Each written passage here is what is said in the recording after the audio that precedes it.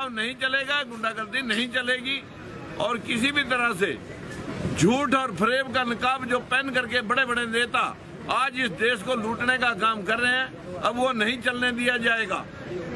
हमें पूछना पड़ेगा उन नेताओं से जो हमारे में से इन पार्टियों के पिट्ठू बने हुए हैं, उन पिट्ठुओं से पूछना पड़ेगा कि जब ये 10 फ़ीसदी लोग 55 परसेंट पे काबिज हुए और जो 55 पचहत्तर परसेंट लोग वो 25 परसेंट में सीमित हुए।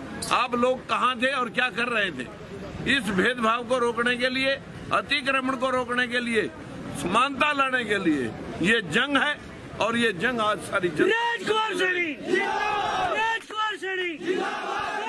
मायावती। मायावती। इतनी धांधलेबाजी इस कल्पना चावला मेडिकल कॉलेज के लोगों ने कर रखी है।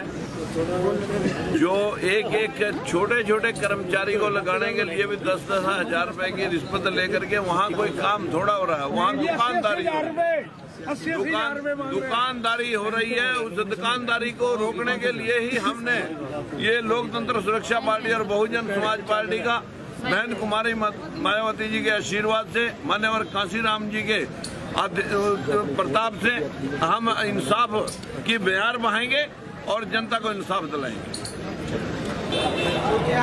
पंकज चौधरी पंकज चौधरी। एक मिनट एक मिनट। देखिए हमारे लोकतंत्र सुरक्षा पार्टी बहुजन समाज पार्टी के इस गठबंधन ने पूरी तैयारी के साथ हमने पेपर सबमिट करा रखे हैं बस साइन करने और लगभग तीन बजे हमने सारी कंप्लीशन कर चुके हैं और आज हमारे लिए बहुत ही सौभाग्य और खुशी का दिन है और आज हमने चार आदमियों ने ही नॉमिनेशन फ़ाइल करने के लिए हमने रणनीति की थी लेकिन लोग अपनी दुकानों से मकानों से इस तरह उमड़ चुके हैं कि हम लोग आपको शब्दों में नहीं बता सकते और हमें बड़ी खुशी है। हमारे बहुत ही आदरणीय मान सम्मान के योग हमारे प्रदेश के नेता सांसद राजकुमार सैनी जी अपने कीमती समय में से 10 लोकसभा में से कीमती समय निकालकर आज हमें आशीर्वाद देने के लिए पहुँचे। हम सैनी साहब का दिल के धन्यवाद करेंगे, आभार व्यक्त करेंगे।